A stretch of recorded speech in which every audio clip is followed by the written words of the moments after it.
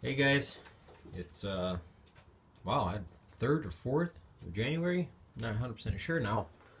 Um, just want to give you guys a quick update. Uh, looks like I came in this morning to feed the birds.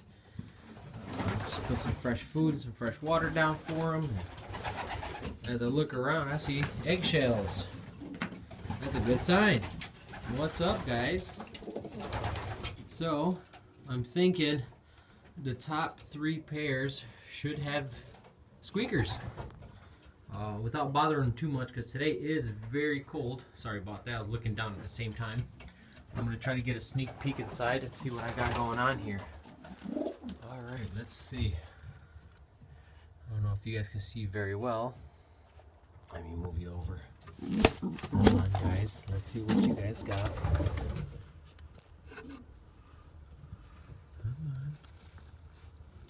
See a squeaker. Oh yeah. The second one come out yet or?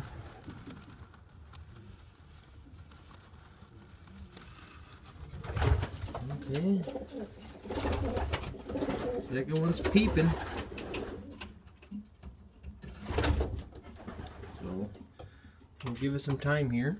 I don't want to bother him too much. Alright, let's see. These guys should also have something. Alright, they got one as well. Very good. Looks like the second egg is just shelling over. I'm sorry about that. Over as well. You can see the egg starting to crack.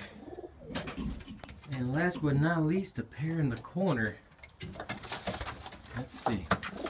Alright, guys. I just want to see. Easy, easy, easy. Oh, oh, I see a head. Yeah, good, good, daddy, good. And legs cracking, so very good. So, three out of six have hatched. Probably by tonight. Um, the other will hatch as well. So that's good sign.